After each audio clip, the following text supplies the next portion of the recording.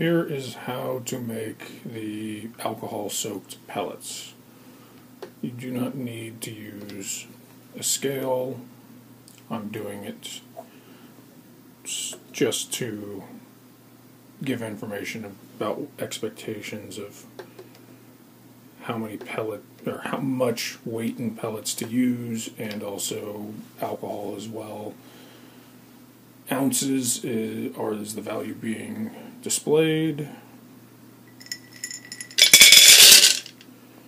And what I just poured in was a half full two cup ball mason jar.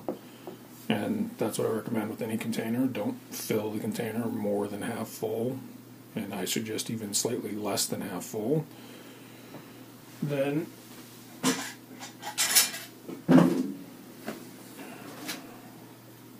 Looking at 5.28 ounces of pellets. Shaken just to level them out. Tare again.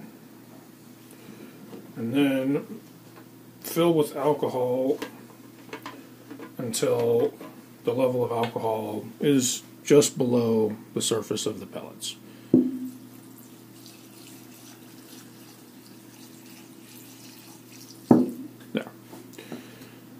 That will end up after half day, day,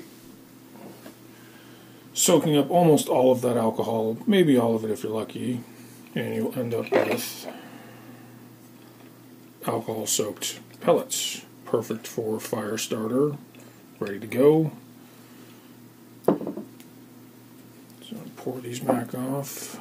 Oh, and just a consistent. About 2.7 ounces of alcohol used. And I will do the math on what the price is for all of that in post.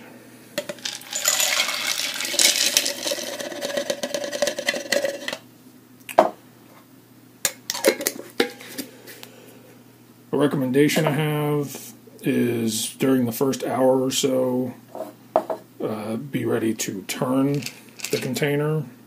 And I also recommend leaving it to sit in some angled position. That's because the pellets are going to expand and they will, if left alone, sitting upright, they're going to lock into the container's walls and it becomes difficult to turn them over. Whereas if they're if you leave it slightly on its side, kind of canted, canted, it's very easy to turn over later. So that is how to make the alcohol soaked pellets. Hopefully that is useful.